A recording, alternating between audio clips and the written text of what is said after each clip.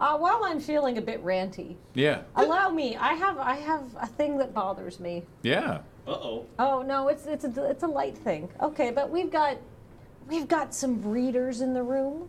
There's some people in the room who've chosen to have children. There's like there's at least three of us. Two of us did it as a team to you know split the load. Yeah. we worked together on it. Yeah, it was it was it was our greatest uh, collaborative project after Strip Search Hmm. uh, and Request. you, you just said that to the internet. You know she's gonna see that when she's 13, right? to be fair, Strip Search was a lot more work and a lot less fun. but And I okay. would hope, and I would hope the breeding requires a lot fewer SD cards. It took about nine months though.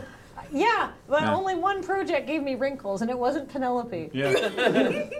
Okay, so anyhow, here's the deal. Dear breeders, I get that you want people to have children because secretly they're really delightful and wonderful and you think they're great.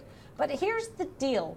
We have to stop saying, telling people who don't want to have children, oh, they're lovely and you can only understand once you have a child. Because while that is technically true, what it sounds like we're trying to do is con- is convert people to our crappy cult, right? Because it's like, yes, I can only understand that you're sleep deprived. You've developed 16 new gray hairs that I can see from here, and that your body was destroyed in a variety of exciting and stitch requiring ways. That doesn't sound like fun. It just sounds like we're trying to lure people in to share our misery.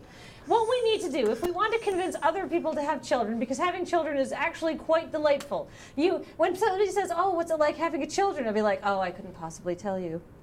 you have to keep an air of mystery about it, because if you tell people that it's all poo, but chemicals in your brain make you like it, it ruins it.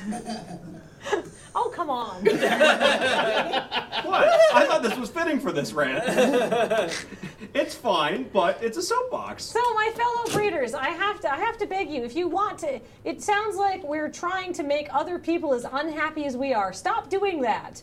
Just start telling people that there's a ceremony that they'll get inducted to on the, the first full moon after you can walk straight again, and then they'll be much more excited about it. That is my that is my plea Yeah. to fellow have, breeders. Have kids or don't. I super don't care. yeah.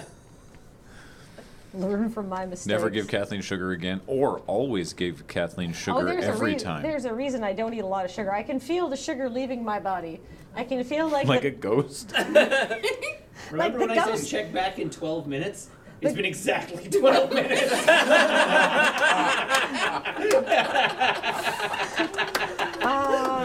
Ah, Wow. the ghost of poor dietary decision making.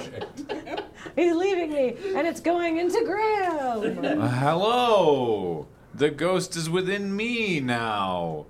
Ooh. The ghost of sucrose past. The ghost of sucrose past.